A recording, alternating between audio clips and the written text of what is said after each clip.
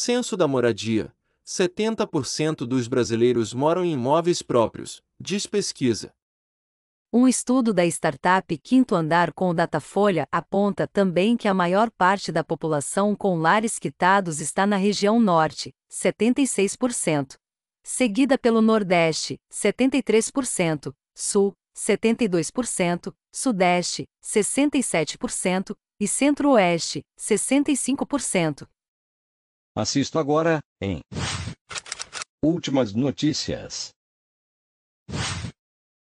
A maior parte da população do país mora em imóvel próprio, 7 em cada 10 brasileiros, segundo o censo Quinto Andar de Moradia, realizado em parceria com o Datafolha. Deste total, 62% vivem em domicílios quitados e 8% em financiados. O estudo, realizado entre 11 e 21 de outubro do ano passado com 3.186 pessoas, 44% do Sudeste, 15% do Sul, 8% do Centro-Oeste, 26% do Nordeste e 8% do Norte.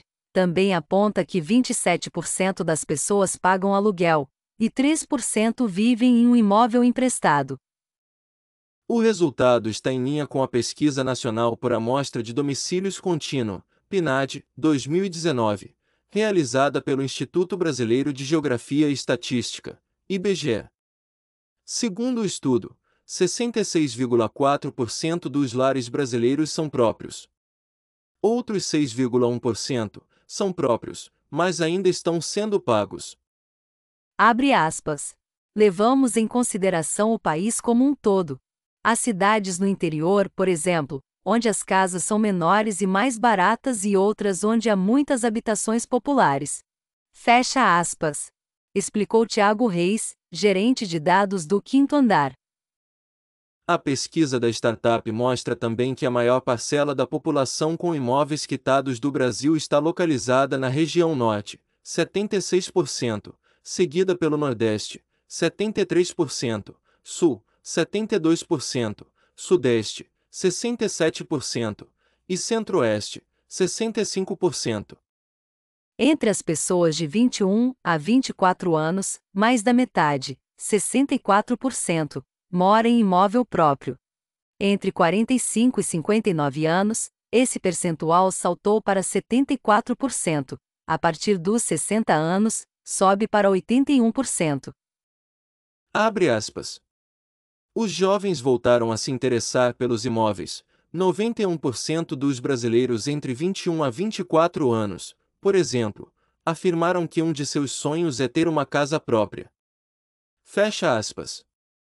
Destacou Reis.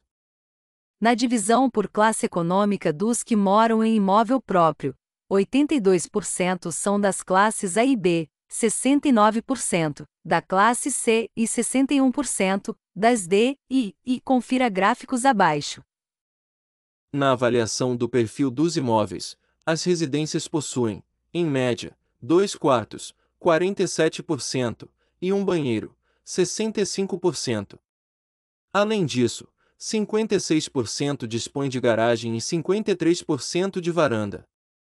Por outro lado, apenas 4% dos entrevistados afirmaram ter espaços para home office, demanda crescente em meio à pandemia. A pesquisa destaca também que 21% das pessoas já fizeram reformas em sua residência, sendo 28% por motivos estéticos e 12% por motivos estruturais. Também foi identificado que o tamanho da casa não é de conhecimento da maioria dos brasileiros. Entre os que souberam, a maioria afirmou que o imóvel tem entre 50 metros quadrados e 100 metros quadrados. Segundo o estudo, 85% dos entrevistados afirmam morar com alguém, sendo que 37% vivem com os filhos, 23% com o cônjuge e 10% com pai e mãe. Os animais também são uma companhia para 61% das pessoas, sendo que 47% possuem cachorros, 22% gatos, 5% pássaros e 6% outros pets. Entre as pessoas que moram sozinhas, 37% têm mais de 60 anos, 27% são aposentadas e 16% possuem algum tipo de deficiência. Se inscreva para acompanhar a cobertura desta e de muitas outras notícias. Veja também essas outras notícias que podem ser do seu interesse.